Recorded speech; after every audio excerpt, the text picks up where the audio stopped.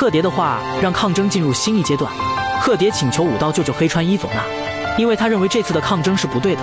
伊佐那是被西校利用了。到了第二天，龙间召开东万紧急会议，而武道想从这次会议上抓住一点线索。东万全体成员除三番队队长空缺，其余人员全部到齐。昨日我队成员在东京各地遭受袭击，对手是横滨一个叫天竺的队伍。天竺是最近刚成立的队伍，还不清楚详细情况。下面就先从最先遇袭的一番队开始说明情况。千东说道：“袭击我们是自称望月队的家伙，是宙华武的原总长望月关尔率领的队伍，估计是天竺的主力部队。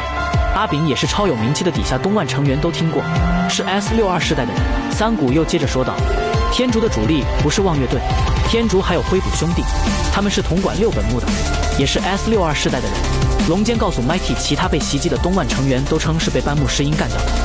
原来如此，被东万摧毁的九代目黑龙的亡灵吗？班木也是 S 六二世代的人，换言之，天竺是不可能统合的 S 六二世代组成的队伍。看来和东万也有不浅的姻缘。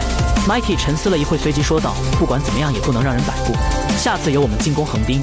”Mikey 话一说完，底下东万成员直接沸腾起来。东万和天竺的抗争正式拉开帷幕，但武道觉得这场抗争又在按西校的计划进行，那就去查清楚了。旁边的千东劝说武道，就算发誓不回未来，但是有需要的时候还是回去一趟比较好，去未来和直人商量一下。离开集会的武道一路小跑去直人家，心里想着西校又在计划着什么。